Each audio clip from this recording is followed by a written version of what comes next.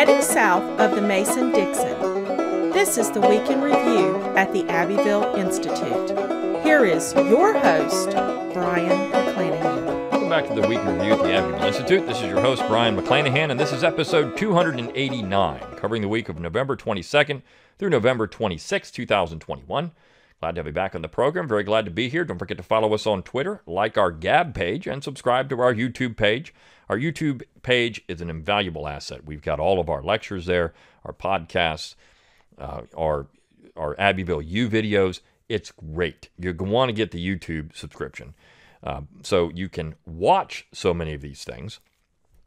Also, if you like what we do, go to abbevilleinstitute.org, A-B-B-V, A-B-B-E-V-I-L-L-E, excuse me, abbevilleinstitute.org. Give us an email address. We'll give you a free ebook exploring the Southern tradition and it's a great book by 20 Abbeville Institute scholars. Your gift, free of charge, just for giving us an email address. That's how we keep in touch with you. It's how we keep in contact with you and let you know of some things that are coming up. Of course, we have a Zoom webinar coming up December 1st. If you're getting this the week before December 1st, 2021, it's the last Zoom webinar of 2021. It's we're going back to the beginning. It's Don Livingston and myself talking about republicanism, size and scale. Don's going to do a talk, and then we'll take questions. But um, it's going to be a, a, fantastic event, so head on out there to do that. Also, if you love the Institute, consider a tax deductible donation. It is the end of the year. Giving Tuesday is next week. You're going to get an email from us uh, asking for money. It's what we have to do because we're a nonprofit organization. So uh, it's how we keep all of this stuff going. I mean, we need funds to do it. So it's, you know, if you support it, please consider a donation. I mean, even a couple bucks a month, right? I mean, it's $25 a year, a couple bucks a month. What's a couple bucks a month? It's a cup of coffee or something. At, this this rate, you know, it's a donut at uh, Krispy Kreme, right? So a couple dollars get you a donut. So, I mean, consider having one less donut a month to help the Abbeville Institute out if you can do that. I mean, we appreciate every dollar you can send us. If you want to donate more, of course, we greatly appreciate that too. But if everybody on this on our email list listens podcast, if everyone just contributed a couple bucks a month, five bucks a month, we'd have so much money. It would be great. Uh, I mean, that's that's something we have to keep saying. We'd have enough money to do all kinds of things. So uh, consider that tax deductible donation to the full extent of the law. Also, share the podcast around on social media. Rate it wherever you get your podcasts. Rate, review, and subscribe. Get that podcast. Let people know what you're doing. Read our articles. Share them around on social media. Do all you can do to spread the message of the Institute, of course. Get your Abbeville Institute apparel. It's getting close to be able to get that for Christmas, but that makes a great gift. Get one of our books. We've got, uh, of course, several books out from the Abbeville Institute Press. Get one of those.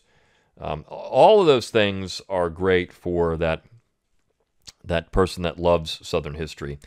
And I want to start in, in tradition and culture. I, this is what we do, right? We explore what's true and valuable in those things. And I want to start this week with the poem that we published on Friday. I'm sorry, on Thursday. We published it on Thursday. The title of the poem is The Ideal Historian of the American Republic. And it was written by James Barron Hope uh, just before he died and uh, he died in I think 1887 is my memory. Yeah, 1887. Yeah. Uh, James Barron Hope was the poet laureate of Virginia, and he wrote this after the war. And when you look at what he wrote after the war, I mean, you think you read, oh my gosh, it's exactly what we're facing today. So this is going to set nicely for what we're going to talk about for the rest of the week and the show. But the poem says In the future, some historian shall come forth both strong and wise, with a love of the republic and the truth before his eyes. He will show the subtle causes of the war between the states. He will go back in his studies far beyond our modern dates. He will trace out hostile ideas, and the minder does the load as the miner does the lodes, excuse me. He will show the Union ribbon, and the picture will deplore. He will show it reunited and made stronger than before. Slow and patient, fair and truthful, must the coming teacher be, to show how the knife was sharpened that was ground to prune the tree. He will hold the scales of justice, he will measure praise and blame, and the South will stand the verdict and will stand it without shame. What a great little poem. I mean, think about where we're going in this today, right? Um, it's prophetic because in this period of time, and I, I wrote something about this years ago um, with a man named Cousins, but on the Abbeville Institute page. But people were talking about the problems of interpretation in the 19th century. This was a problem then, as it is today. You see, because the problems of interpretation go deep, who writes the history is often going to be biased by what they believe. And so when you have people running around saying, like Victor Davis Hanson did this week in a piece about blue state confederacies and the South won the war, this is the leftist talking points, but not just that, it's conservative talking points, quote unquote conservative. Hanson's a conservative. Alan Guelzo, who wrote a book on new book on Lee, is quote unquote conservative. And he says from the beginning, he is a blue, he is a Yankee of a Yankee. He wrote, How do you write a book about somebody who committed treason? He says. How do you do that? Well, I mean, people write books about people that quote unquote committed treason all the time. Doesn't mean they actually did it, but it's what people say. So I want to start there, and then we're going to talk about Lincoln, and we'll, we'll finish up with Thanksgiving and uh, and a personal story. But uh, Casey Chalk wrote a little review of this new book by Guelzo, The Right Side of History. And Mr. Chalk is, um, uh, I think he, I think he did a very even-handed job in this review. Uh, if somebody that normally writes for us would write this review, it probably would be a little more scathing. And of course, I've been very hard on Alan Guelzo. So I like that he was a little more measured in his response to this. He doesn't even bring up the treason stuff. He says, well, look, I don't even know if the treason should stick, right? I mean, did Lee really commit treason? And, and Chalk is saying, well, you know, isn't it, shouldn't we be admiring someone who actually sides with family? But he says, this is, uh, this is part of the issue. He actually kind of criticizes Guelzo for even writing a book about Lee. He says we're also a bit, a bit oversaturated with discussions of Lee, not only given retired U.S. Army Brigadier General and Professor Emeritus at West Point General Ty Seidule earlier this year published Robert E. Lee and Me, but the countless op-eds and articles written about him from the last in the last couple of years. There's also John Reeves' Lost Indictment of Robert E. Lee. Indeed, there are scores of books, including many biographies about Lee. Then again, this seems to be the era of America's great reckoning with our past, specifically the Confederate past, evinced by the ever expanding list of removed statues, renamed schools, and recontextualized historical markers. Not long ago, I received a card in the mail from the government bureaucrats in my native Fairfax County asking if I supported renaming Lee Highway and Lee Jackson Memorial Highway. So, sure, Professor Guelzo, add your voice to the rising chorus, though I would argue this historical reckoning isn't really about con- the Confederacy or even treason. But you see, Guelzo, the thing I would say about Guelzo is by simply starting the book of, well, I write somebody? He already just says Lee committed treason, but he didn't, right? I mean, that is the key to understanding Guelzo's argument. Guelzo doesn't like Lee because he committed treason. This is treason. That's the real issue here. But is it the real issue here? It's not. Not, I mean, Lee didn't commit treason, but when you operate from that position, you're essentially capitulating to the other side. You're capitulating. And why would you do that? Why would you give them even an ounce? An inch? Why would you do it?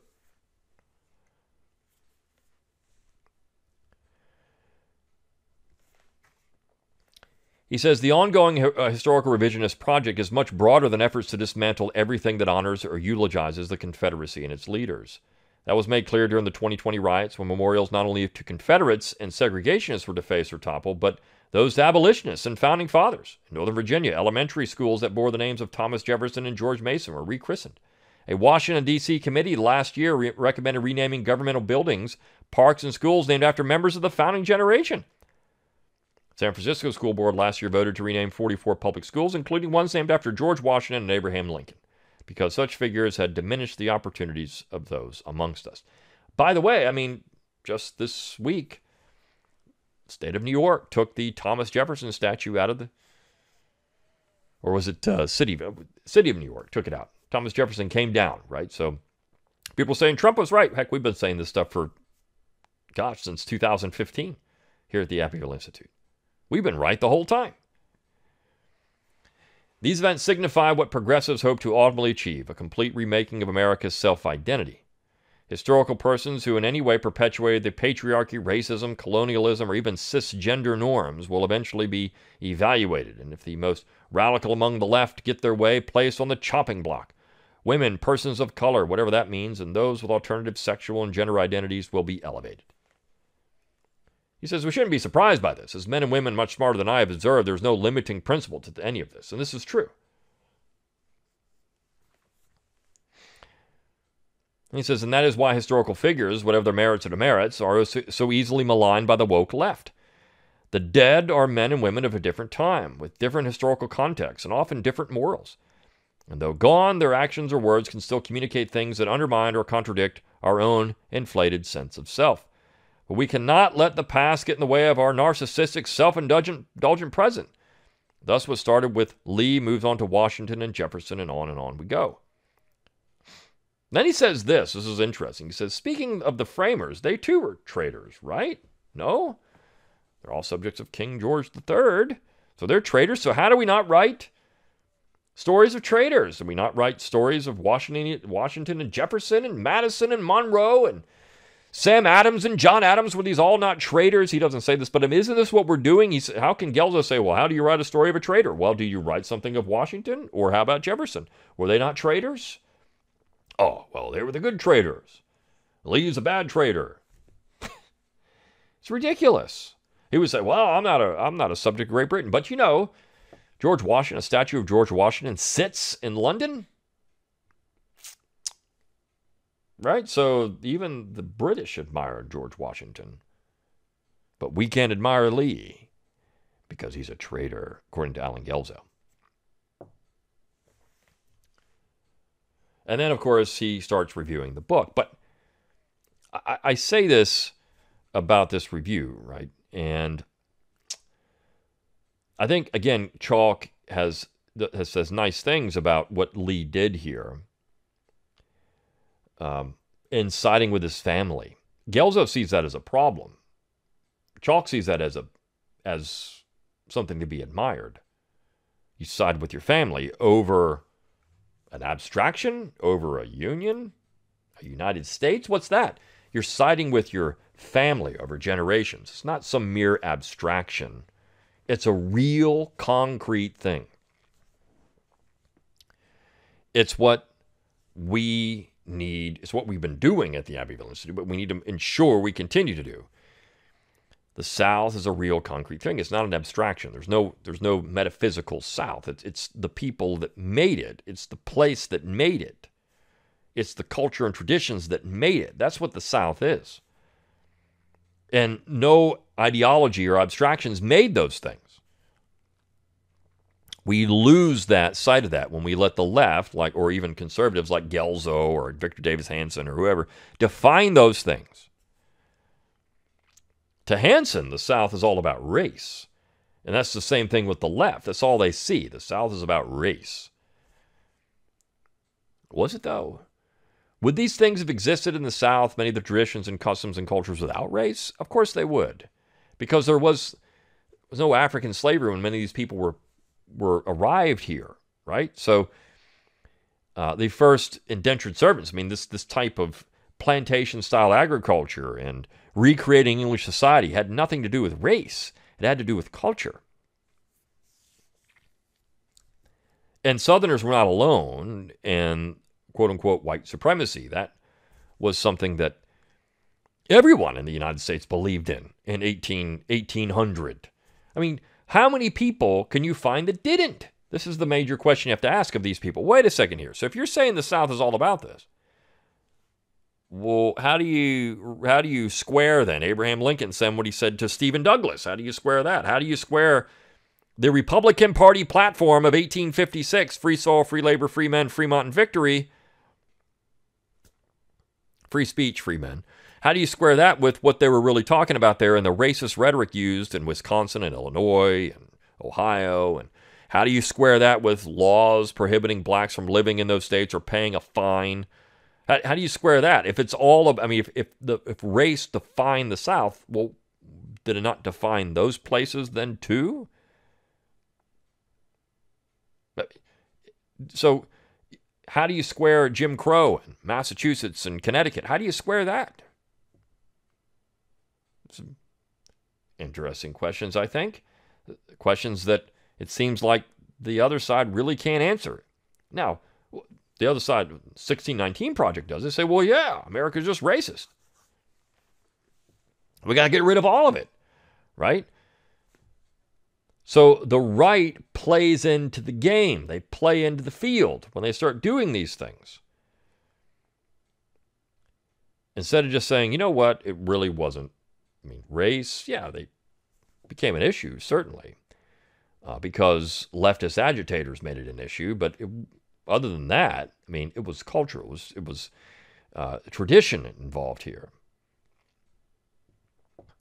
Was there geographic determinism? I mean, why did why did Northerners abandon plantations? In fact, Connecticut was called the Connecticut Plantations. Why did they abandon that? Because they couldn't produce cash crops like they could in the Carolinas or Virginia or Georgia. Couldn't do it because the climate was not suitable for that type of economic activity. They could have small farms, but they could also have manufacturing and banking and other things. I mean, these are things that made more sense. Shipping, primarily, shipping made a lot more sense in Connecticut and Massachusetts than it did anything else. This is why Daniel Webster, Daniel Webster, the ardent centralizer who made his speech against Robert Hayne and, of course, John C. Calhoun in the 1830s, in 1812 made a nullification speech because he thought that uh, the embargo, of course, the embargo and the war was going to crush New England shipping because it was illegal, he said. The tariff that he defended in 1832, he said was illegal in 1812, 20 years before. You can't make it up, really. You can't make up the hypocrisy of the North. It's always there always there. It's always present. That's why we should have a Northern Studies program rather than Southern Studies program. But back to Chalk and Lee. I mean, this is what you have. You have Lee as the enemy, Lee as the figure we have to talk about, the traitor. And of course, Guelzo, well, the North was showed their real nature by not hanging Lee. He deserved to be hung as a traitor, but we showed that we're good people up north because we didn't hang him. Same thing with Jefferson Davis. Same thing with all these Confederate leaders. They weren't hung, so that's how good we are. Now we should take down Lee, though. If the time is over, all the time has passed, we should take him down. Now, Guelzo is also, he studied religion. And he, look, Alan Guelzo is a good writer, and he has a great speaking voice. I'll say that. Alan Guelzo has a great speaking voice. He's interesting to listen to. Right? I, I, I won't say that. I won't deny that at all. Great speaking voice. I'm someone who likes voices. I, I key in on voices. So he's very good at that. I mean, he's easy to listen to. And, uh, he, but he, so he studies religion, and I think part of his infatuation with Lincoln is this weird sense that Lincoln was somehow this very devout Christian. And that's the piece on Monday by Thomas Hubert. He gets into this and he says, "Wait a second here. Now Lincoln's the, Lincoln's providence is something that needs to be questioned. Was Lincoln really this religious figure or not? And I want to go to a, a, a the, the title of this piece is The Divinity That Shapes Our Ends Providence in the American War of 1861 to 65. And I, I Lincoln wrote a little paragraph, the meditation, and then you, he, he compares that to his second inaugural address, which is one of the addresses that is seen as one of, the, one of these important speeches in American history, is a second inaugural. With malice toward none, with charity for all, let us strive to, strive to bind up the nation's wounds, right? So he says this. He says, It is, of course, Lincoln's prerogative to make judgments on the events of the war itself, its causes and results as he understands them. Is it not a bit, a bit disingenuous, even unseemly, however, to do so while adopting a posture of the noble leader filled with the milk of kindness? One has to concede in any event that others in his time lacked even a fraction of the man's compassion and goodwill, even if those qualities were adulterated. The argument in favor of the second inaugural offered by some commentators rests on the speaker's comfort with paradox and his presumed charity. Mark Noll, for one, following the theologian uh, Reinhold Niebuhr, argues that Lincoln stood out among other 19th century figures as virtually unique in this regard. In support, he references several noted clergymen on the day of the day who, according to Noll, lacked the theological power and tensional quality of Lincoln's presentation. In spite of Noll's assertions and his evidence, Lincoln was not the only one who engaged in paradox, engaged the paradox and ambiguity found in the meditation and second inaugural. He may have done so with more eloquence and prof- uh, profundity than anyone else. And as a look at key utterances by other figures of the period cited by M.E. Bradford, Richard Weaver, and others will attest, the notion that God was indisputably on their side and their side alone never occurred to them for a moment. For them, God is sovereign, wills what he wills. They never assumed that personal or collective faithfulness guaranteed worldly success. That is the preserve of the New England Gnostic abolitionists out to create the utopian city on the hill. To those other figures, in particular those south of the old surveyor's line, we will return shortly. So I, I like this because he's getting into this tension in this inaugural address, and uh, I think that's something we miss. You know, Lincoln, there was this religious figure. We have that, right? Lincoln is a demigod, right? Lincoln has, has been elevated to a status beyond what he should have in modern American society. Lincoln is not, is not, uh, was not ever really a religious figure at all. I didn't really, wasn't really that strong of a Christian ever. And I think that's something we have to we have to get straight with Lincoln because if we don't, um, it's um, we're we're destined, we're doomed to keep this mythical figure of Lincoln alive. Now, of course, we're very critical of Lincoln at the Abbeville Institute. If you're listening to this podcast and you haven't gotten a lot, we're very critical of Lincoln here. He is uh, someone who was the, in many cases, a transitional figure, the transformative figure in America, the transformative figure of America. Before Lincoln, we had a different vision of America. After Lincoln, we have the Lincolnian vision of America. And, and Don Livingston calls it the Jeffersonian and Lincoln Lincolnian and Jeffersonian vision. So Lincoln's transformative period, you know, 1861 to 65, but then of course beyond that because Lincoln's ideas carry on. And in fact, Lincoln becomes the martyr, and this is where uh, you have the individuals of uh, that uh, promoted Lincoln's martyrdom after his assassination. I mean, this is Lincoln did more in death for them than he did in life. In fact, these people were trying to throw Lincoln under the bus. All the radicals, they hated him. So I like this piece by Hubert. I like the piece by Chalk. And of course, this week we had Thanksgiving, and this also gets into the the ideal historian of the American Republic. What is the first Thanksgiving? You know, we have. Uh, it was it was it Pilgrim, Massachusetts, or was it something else? And we have uh, Tyler, Lyon Gardner Tyler, who wrote Virginia First. And he wanted to emphasize again in that that Virginia was first in all these things. And we've forgotten all of that. So thankfully, Shotwell Press, Shotwell Publishing, has published a little children's book on the real first Thanksgiving. I like this. It's something we've talked about before, but how Virginia was really the first state, or colony, I should say, the first colony to practice an English Thanksgiving. Now, we know that Florida had one before that, right? Was Spanish. Uh, but the real first Thanksgiving in an English colony took place in Virginia in 1619, an, an annual event. Now, of course, it didn't last because these people were slaughtered by Indians. But if you listen to uh, to the left, I mean, it was genocide that these people were practicing. The, the genocide actually came in the other direction, at least initially. The attempt was there. Uh, so we we had we had the real first Thanksgiving in Virginia, the real first representative government in Virginia. Virginia was first in all of these things. Virginia was the first colony. The Pilgrims, nothing, nothing of that. Uh, in fact, the Pilgrims were supposed to go to Virginia or blown off course. This is why they ended up in Massachusetts. So we we have um, this northern myth that somehow Virginia, uh, I'm sorry, Massachusetts was first, not Virginia, but we know that's incorrect.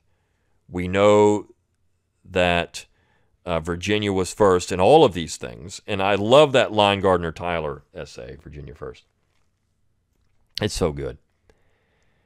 So I wrote a little, just scribbled up a little uh, review of the book, and it's only about, I think, like 15 pages, 20 pages, something like that. It's a great little children's book. You should get it. It's nice illustrated. The the writer also illustrated. It's very good illustrations, you know, for the book, and um, I, I, found it very good and worthwhile. Again, we get a lot. Kids start learning about these things. This is you got the little pilgrims with buckles and Charlie Brown's Christmas and uh, Charlie Brown's Thanksgiving. Simply not true. And then, of course, we we wrapped up the week with a, the piece entitled "Windy." And it's by Travis Holt, who's just a great writer. I, I like reading Travis Holt's stuff, but Travis Holt wrote this little story about a man that was nicknamed Windy in the Ozarks there, and about the value of people and traditions. You always think they're going to be there. And he talks about this Windy who died, and he wasn't going to be there anymore. And he always just took it for granted. We take so many things and traditions and customs for granted. They're always going to be there. And then they're not. In the South and the Southern tradition is much like that. And I loved how he said, you know, when Windy died, he died an Arkansan, he died a Southerner. He died a man of the Ozarks. This is what he died. He died a storyteller. He died a person, a man of his place. And again, you take these things for granted. You take for granted all these things are always going to be there until they're not. And so, is the Southern tradition always going to be there, or is it not? Is it going to be eliminated? Is it going to be canceled? We know they're trying. That's the effort to remove Confederate symbols, Confederate statues, the neoconservatives to get rid of John C. Calhoun, the left to get rid of Thomas Jefferson, George Washington. It's part of getting purging the South from the collective consciousness. And the right is okay with this. Trust me, they're okay with this. And they're okay with this because if you look at things like the Mississippi state flag, who initiated that? It was Republicans. Who initiated getting rid of the Georgia state flag? Republicans. Who initiated getting rid of the Confederate battle flag there on the State House grounds of South Carolina? Republicans. Not even on the dome anymore, just in front of a monument. Republicans. You see, the right is okay with this stuff. In fact, they want it because it's they think it hurts their business. It hurts the Chamber of Commerce. Oh my gosh. So they're willing to throw it all under the bus. They're willing to get rid of it. And so we take it all for granted until it's not there anymore. It's we take it's always going to be there until it's not. Sweet Home Alabama will always be played on the radio until it's not. Until it's made into a racist song. Uh, you know, the things that we take for granted, they'll always be there until they're not. And so this is why these things have to be preserved and talked about and discussed.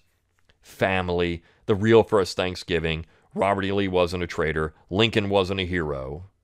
We have to have honest historians, people that are willing to say these things and not bow down to political correctness or cancel culture or um, not just that, uh, the, the idea that uh, somehow uh, these new modern fashionable views on the South are correct. They're not. They're incorrect, vastly incorrect. And it's why the Institute has continued to exist and why we do exist. Again, I'm going to wrap up today of just requesting that if you if you just have some few pennies to throw our way, please do it. It keeps the podcast, keeps this podcast going. It keeps the website going. It keeps our Zoom webinars going, our conferences. We will have conferences in 2022. We have some things we really want to do. It's kind of hard to do them though when uh, you know we have our funds are much less substantial than our opposition. I'm not even going to name the opposition. There's many very there's various forms of the opposition. It can come from the left and the right. They've got a lot more money and they're a lot better organized. So anything you can do to help, anything you can do, do to contribute, you get a tax deduction for this to the full extent of the law. So if you're interested in that part of it, making your tax plans, and you want to look for a charity, think about the Abbeville Institute. Hey, go to Amazon Smile and make us your preferred charity. Every time you shop at Amazon, we get money then. It's great. And everybody shops at Amazon for something or another. Also, download that free mobile app. That's also something we pay for every year to have. You know, so download the app and use it if you want the Abbeville Institute on the go. Get the stuff that we have that I mean you're you're getting out of this. You know, you contributing keeps the podcast going, the website going, all that. So we don't have many episodes left of the Abbeville. Uh, we can review the Abbeville Institute this year. We're going to be wrapping up sometime uh, you know middle of December or so for a couple of weeks. We we always shut down for a little while, so uh, keep that in mind. We only have a, maybe a episode or two left this year, but if you're if you're hearing this on the weekend before December 1st, make sure you sign up for that Zoom webinar with Don Livingston and yours truly on is republicanism dead? It's going to be really great. Also go to abbevilleacademy.org if you want to pick up any of these old webinars that we've got. You can buy them for 15 bucks each, and they're not expensive, right? This we don't charge a lot for this stuff. We do it just to maintain the cost of, of running that through that system. That's why we have that. Same thing with the charge for these webinars because we got to pay for the we got to pay for the access to these things. So we do all that. We charge these things to keep that stuff going. Um, so get that Abbeville, abbevilleacademy.org. Great, great resource. We've got, uh, I think, 10 classes up there right now uh, soon to be 11. So a lot of great stuff. Until next time, good day.